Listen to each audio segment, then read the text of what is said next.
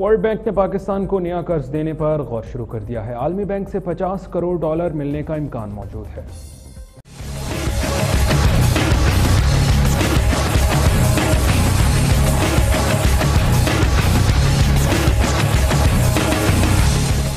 World bank ने पाकिस्तान को नया कर्ज देने पर गौर करना शुरू कर दिया है। आलमी बैंक की जानब से नया कर्ज मई में मंजूर होने का इम्कान है और ये कर्ज 50 करोड़ डॉलर तक हो सकता है।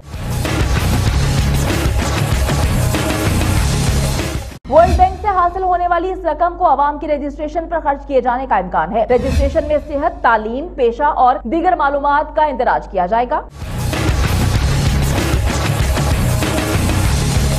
दो रोज कबल आलमी मालियाती इदारे आईएमएफ एग्जेक्टिव बोर्ड ने कोरोना वबा से निमटने के लिए पाकिस्तान को एक अरब अड़तीस करोड़ साठ लाख डॉलर कर्जे की मंजूरी दी थी। आईएमएफ ने ये मंजूरी अपने रैपिड फाइनेंसिंग इंस्ट्रूमेंट प्रोग्राम के तहत दी है।